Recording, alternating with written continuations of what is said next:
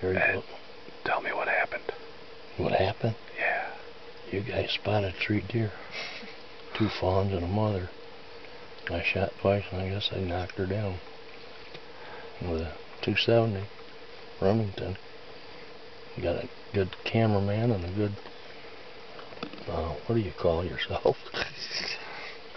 That's your guide. My guide, thanks. Your guide's name is Dave. What's Dave's Dave. last name? I don't know.